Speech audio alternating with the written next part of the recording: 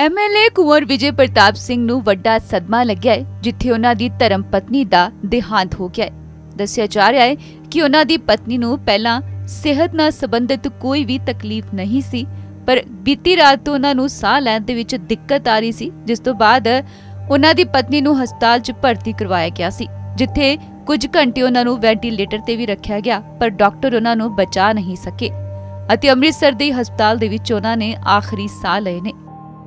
ਅੰਮ੍ਰਿਤਸਰ ਦੇ ਹੀ ਦੁਰਗਿਆਨਾ ਮੰਦਿਰ ਦੇ ਨਜ਼ਦੀਕ ਸ਼ਿਵਪੁਰੀ ਦੇ ਵਿੱਚ ਉਹਨਾਂ ਦਾ ਅੰਤਮ ਸੰਸਕਾਰ ਕੀਤਾ ਗਿਆ ਹੈ, ਜਿੱਥੇ ਸਿਆਸੀ ਆਗੂ ਵੀ ਉਹਨਾਂ ਨੂੰ ਸ਼ਰਧਾਂਜਲੀ ਦੇਣ ਲਈ ਪਹੁੰਚੇ ਨੇ। ਦੱਸ ਦਈਏ ਕਿ ਅੰਮ੍ਰਿਤਸਰ ਤੋਂ ਵਿਧਾਇਕ ਕੁੰਵਰ ਵਿਜੇ ਪ੍ਰਤਾਪ ਸਿੰਘ ਦੀ ਪਤਨੀ ਮਧੂਮਿਤਾ ਜਿਨ੍ਹਾਂ ਨੂੰ ਸਾਹ ਲੈਣ ਦੇ ਵਿੱਚ ਦਿੱਕਤ ਆਈ, ਹਸਪਤਾਲ 'ਚ ਭਰਤੀ ਕਰਵਾਇਆ ਗਿਆ ਅਤੇ ਇਲਾਜ ਦੌਰਾਨ ਉਹਨਾਂ ਨੇ ਦਮ ਤੋੜ ਦਿੱਤਾ।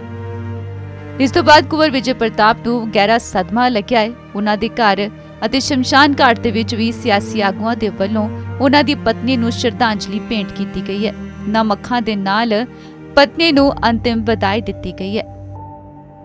ਇਸ ਮੌਕੇ ਸ਼ਮਸ਼ਾਨ ਘਾਟ 'ਚ ਪਹੁੰਚੇ ਸਿਆਸੀ ਆਗੂਆਂ ਨੇ ਵੀ ਕੁੰਵਰ ਵਿਜੇ ਪ੍ਰਤਾਪ ਦੇ ਨਾਲ ਦੁੱਖ ਦਾ ਪ੍ਰਗਟਾਵਾ ਕੀਤਾ ਹੈ। ਵੀ ਅੱਜ ਕੁਵਰ ਵਿਜੇ ਪ੍ਰਤਾਪ ਸਿੰਘ ਜੀ, ਜਿਹੜੇ ਸਾਡੇ ਬਹੁਤ ਮਿੱਤਰ ਹੈ, ਅੰਮ੍ਰਿਤਸਰ ਨੌਰਥ ਤੋਂ ਐਮਐਲਏ ਹੈ, ਸਾਬਕਾ ਆਈਜੀ ਹੈ ਅੱਜ ਉਹਨਾਂ ਦੀ ਧਰਮ ਪਤਨੀ ਦਾ ਅਚਾਨਕ ਅਕਾਲ ਚਲਾਣਾ ਕਰ ਜਾਣਾ ਸਾਡੇ ਸਾਰਿਆਂ ਵਾਸਤੇ ਬਹੁਤ ਵੱਡਾ ਸਦਮਾ ਹੈ। ਕਿਉਂਕਿ ਕਿਸੇ ਨੂੰ ਖਬਰ ਹੀ ਨਹੀਂ ਸੀ, ਕਿਸੇ ਨੂੰ ਪਤਾ ਹੀ ਨਹੀਂ ਚੇ ਚੇਤਾ ਹੀ ਨਹੀਂ ਕਿ ਅਜਿਹਾ ਭਾਣਾ ਵਰਤ ਜਾਏਗਾ।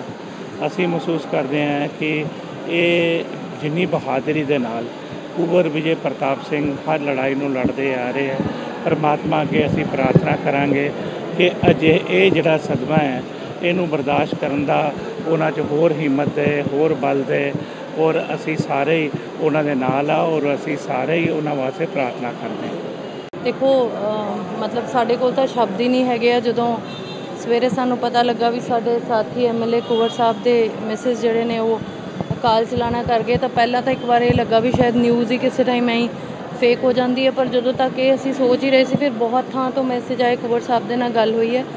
ਸੋ ਬਹੁਤ ਮਾੜਾ ਹੋਇਆ। ਇਹੋ ਜਿਹਾ ਭਾਣਾ ਮੈਨੂੰ ਲੱਗਦਾ ਕਦੇ ਵੀ ਵਾਪਰਨਾ ਨਹੀਂ ਚਾਹੀਦਾ।